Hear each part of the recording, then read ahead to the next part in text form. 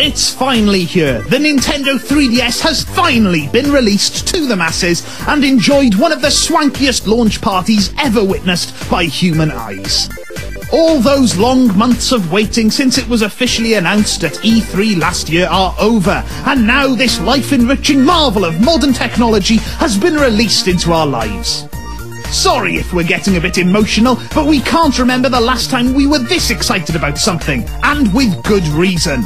But before all that though, we took our 3DS along to the Video Game BAFTA Awards last week to thrust it in the face of some celebrity gaming aficionados. The night was a pretty huge, star-studded affair, and we watched as Super Mario Galaxy 2 picked up the BAFTA for Best Gameplay. But the big story of the evening wasn't happening on stage. Oh no, it was happening backstage and on the red carpet, as we gave some of the celebrities on the night a little taste of 3DS action. Comedian and game lover Dara Ó Briain presented the award ceremony and was pretty much blown away by what he saw. Oh wow. I'm impressed. Yeah, I didn't expect it to be quite as neat and tidy as that. We this interview has to end, but I got to KO somebody. I was the PO person. Definitely one of the best dressed ladies of the night was TV presenter Jameela Jamil, who, lucky for us, didn't have a pocket on her dress, or she definitely would have had the console away. No way. Oh, there we go. Oh, it's just as oh, and it's like holographic. That's so exciting. I like spat at the camera. It was so exciting. Famous funny man Danny Wallace had been waiting to have a go on the 3DS ever since hearing about its awesomeness from Jonathan Ross. Here's what he had to say.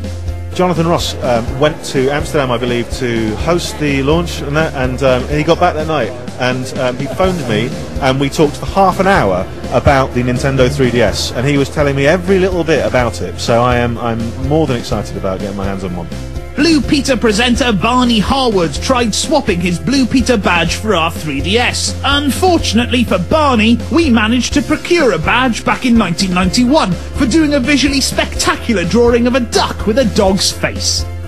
How have, how have they managed to do that with, without wearing glasses? I mean, this is. Can we just. You can keep filming all you like. I'm saying nothing now for the next 10 minutes. What a game. That's amazing, isn't it?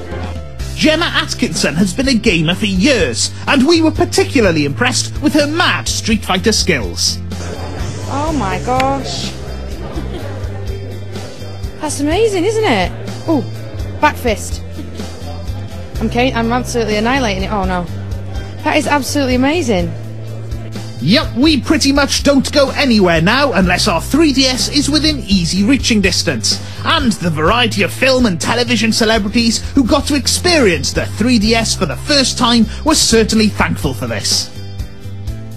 The 3DS is exceptional. It's a great offering. It's a, it's a vastly upgraded platform. What I'm keen to point out is that in my experience of Street Fighter and Pilotwings, the 3D genuinely adds a tactical game orientated uh, element to the gameplay. So it improves the gameplay in its own right. It's not just bells and whistles. So Pilotwings, you know, you want to see where you're going to get through the, the, the targets. Um, Street Street Fighter, okay, it, it just looks damn cool. The 3DS is out now, and you can check out the incredible 3D without glasses effects for yourself. Next week, we'll be bringing you exclusive footage from the 3DS Midnight event, as well as the celebrity launch party. It's all right here next week on Nintendo TV.